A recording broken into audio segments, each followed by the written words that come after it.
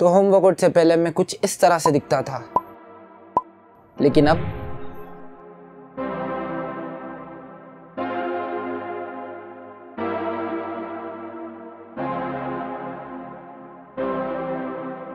उत्सव भाई लोग, मैं हूँ चैनल नेम द्रंचीता तो बात करते हैं होम वर्कआउट होम वर्कआउट की एक्सपीरियंस और मेरी ज़िंदगी के बदलाव के बारे में। शुरू में मैं थोड़ा स्किनी था, उसके बाद लॉकडाउन आया। लॉकडाउन की वजह से मेरे जो थाइस हैं, उसका फैट बढ़ गया। और साथ ही साथ मेरे फेस में भी फैट दिखने लगा, जिसकी वजह से मैं पूरा डिप्रेस्ड सैड और डिमोटिवेटेड हर बार मेरी बॉडी को सोच के। उसके बाद मैंने ज़्यादा सोचा नहीं, बस स्टार्ट कर दिया अपना वर्कआउट फ़र्स्ट थ्री मंथ्स मैंने इससे इससे और इससे कर रहा था, बिना कोई भी फिटनेस नॉलेज के, यानी एकदम ज़ीरो से। जो मेरे तीन महीने गुजर चुके थे, उसमें मैंने बहुत कुछ सीखा है और बहुत कुछ एक्सपीरियंस किया है। उसके बाद मैंने स्टडी की डीप से मसल बिल्ड के बारे में ये सुनकर तो मैं एकदम हैरान और परेशान कि जो आपके लेग मसल्स हैं, वो बड़े मसल ग्रुप हैं।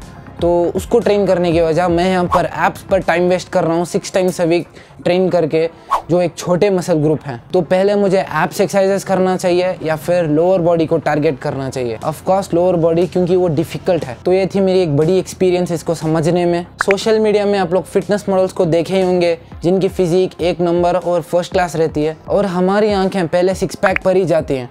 काउंट करने लग जाते हैं फोर पैक सिक्स पैक या एट पैक अगर वो मॉडल सिर्फ़ सिक्स पैक ही करता तो वो कुछ इस तरह से दिखता।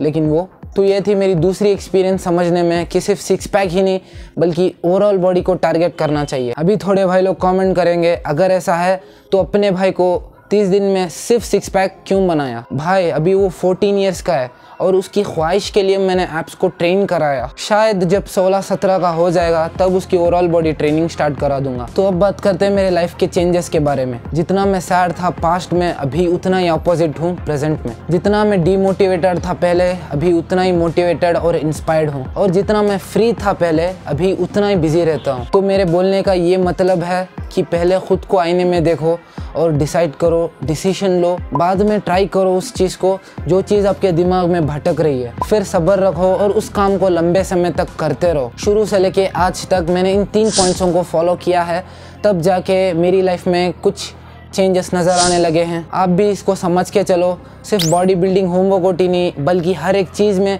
ये थ्री पॉइंट्स यूज़फुल रहेंगे। आज ही से स्टार्ट करो और अपनी गलतियों को एक्सपीरियंस करो। बिना एक्सपीरियंस से कुछ समझ नहीं आएगा। ये सब मैं इसलिए बता रहा हूँ क्योंकि शुरू करके तो देखो, ख़त्म करने में बहुत मज़ा आएगा। बस हार्ड वर्क करो, आपका लक आपके साथ। और मेरी तरफ़ से हार्ड लक और हार्ड वीडियोज़ के लिए सब्सक्राइब करो रंचीता थैंक यू पीस